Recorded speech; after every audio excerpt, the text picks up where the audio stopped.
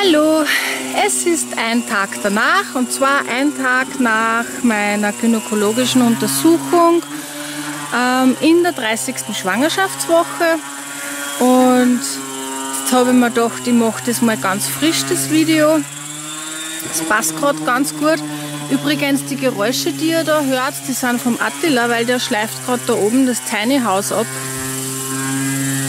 Und ja, haben ein bisschen wüde Geräusche. Ich glaube, ich gehe mal gar nur woanders hin, wo man das Schleifen nicht so hört, weil die Grillen, die haben auch gerade so laut. Bis gleich.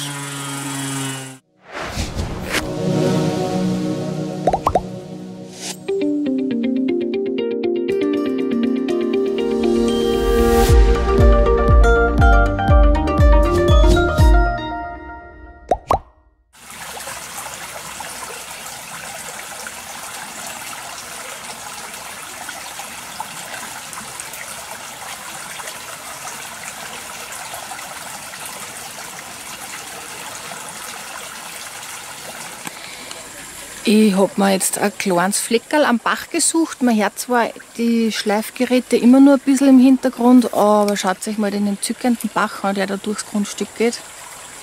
Das ist ja da, wo die Mühle betrieben wird. Also jetzt nicht mehr, früher. Ich weiß gar nicht, ob das noch funktioniert, aber wie auch immer, das Plätschern vom Bach ist, glaube ich, ein bisschen cooler als wie die Schleifmaschine. Okay, es wird ein kurzes Video. Also, der Termin beim Gynäkologen war ganz super, weil er hat mich gleich begrüßt und hat gesagt, hm, Sie kommen da so schwungvoll rein. Wie geht's Ihnen? Und da habe ich gesagt, ja, eigentlich recht gut, abgesehen von meinen Krampfadern und, und so, aber im Großen und Ganzen bin ich recht dankbar, mir geht's gut. Und er sagt, naja, er kennt da ganz andere Zwillingsmütter, die nicht so fröhlich reinkommen. Boah, da sind die Mücken aber dafür umso ärger. Naja, mal durch. Und es gibt, also 30. Schwangerschaftswoche ist jetzt doch schon ein Zeitraum, wo das eine oder andere Zwillingskind andeutet, raus zu möchten aus der Mama. Aber im Großen und Ganzen, bei mir merke ich eigentlich noch nichts. Bin ja recht dankbar, die sollen so lange wie möglich drinnen bleiben. Okay, also äh, ich hatte ja vor zwei Wochen, zwei, drei Wochen einen Zuckerbelastungstest und eine neue Blutentnahme im Blutlabor. Da sind eigentlich alle Werte extrem gut. Ähm, nur mein Eisenwert ist 9,6 statt 12 bis 16. Das heißt, ich muss jetzt, äh, ich habe ein Rezept gekriegt mit einer hochdosierten Eisenergänzung um diesen Mangel auszugleichen. Vielleicht bin ich ja deswegen ein bisschen müder als erwartet. Und ja, das werde ich dann einfach mal machen. Dann äh, meine Zuckerwerte sind top, hat er gesagt.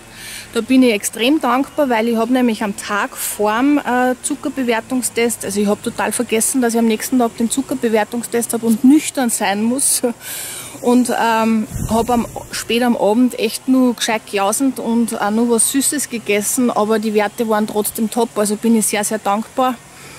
Ähm, manche Menschen neigen ja dazu in der Schwangerschaft, dass da die Zuckerwerte ein bisschen durcheinander kommen und die kriegen dann auch manchmal später im Alter Zuckerprobleme. Also von daher bin ich froh, dass ich bei alle drei Schwangerschaften, auch bei den Zwillingen, mit dem Zucker keine Probleme habe.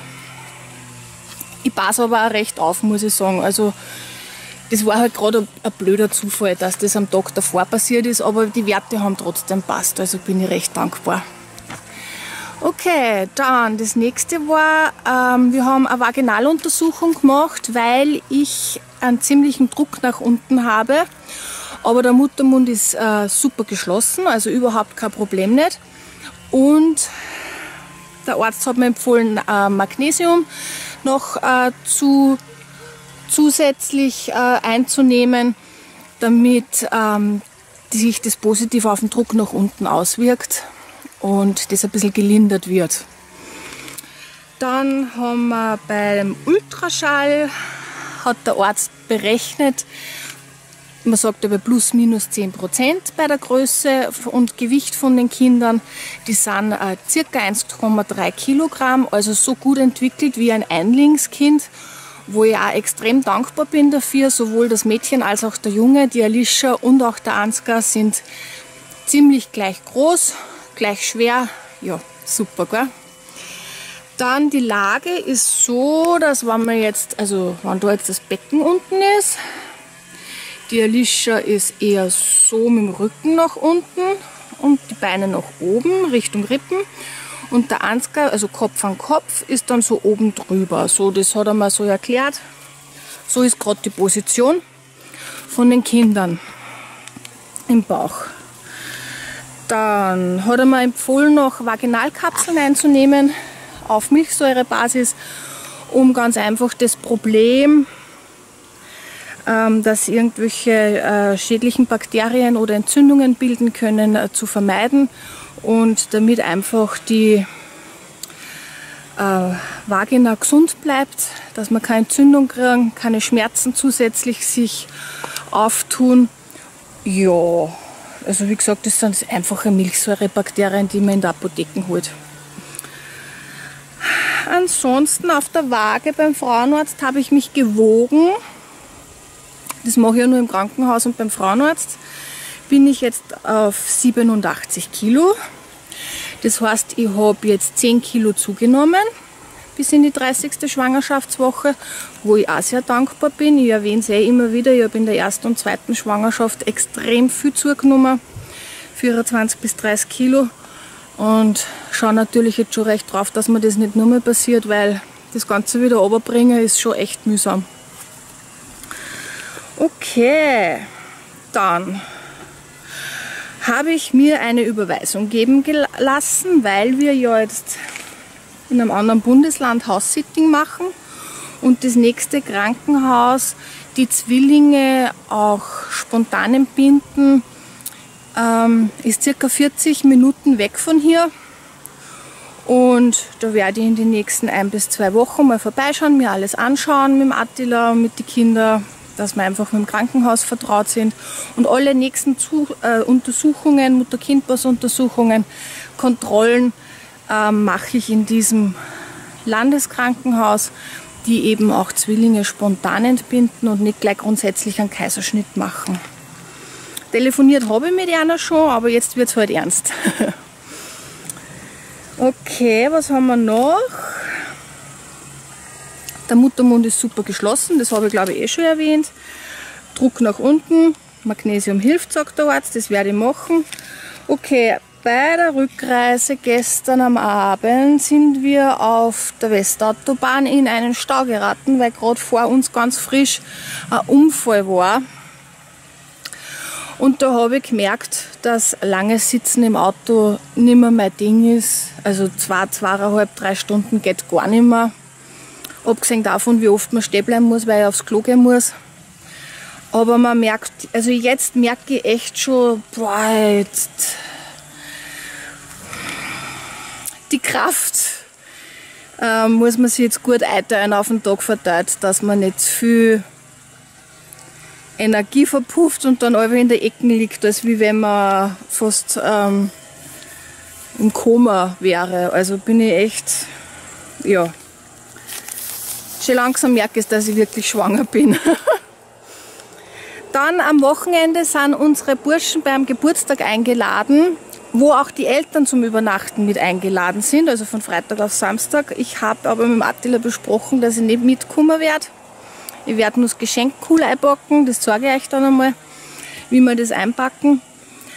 Ähm, aber wenn ich in der Nacht alle halbe Stunde, Stunde aufs Klo rennen muss, ähm, bin ich eigentlich ganz froh, wenn ich das in den eigenen vier Räumen oder beziehungsweise daheim machen kann und nicht die ganze, ganzen anderen Familien und so ähm, mitbelästige. Also von daher werden meine Männer die Geburtstagsfeier von Freitag auf Samstag ohne mich so, verbringen. Und wir packen jetzt das Geburtstagsgeschenk ein und zwar, also das was draußen jetzt ist der Schleifer vom Attila und vom läuft mir gerade die Hauswand. Das war okay, und zwar der Junge wird elf Jahre alt, ist sehr wissbegierig und experimentierfreudig. Jetzt haben wir ihm so ein Kristallzuchtset gekauft. Dann die Karte. Ja, weil er Tiere sehr gerne hat. Dann haben wir sogar vegetarische Colaflaschen gefunden. Das ist eine ziemliche Ladung. Die wird jetzt eine große Ladung. Und dann haben wir da noch Staccato und Domino als Holzspiel. Das finde ich ganz cool. Und zwar werden wir jetzt alles so in einzelnen Kartons verpacken. Dann kommt das alles in diesen Karton rein. Jeder Karton wird einzeln bunt eingepackt und ganz zum Schluss kommt das dann alles in den großen Karton rein.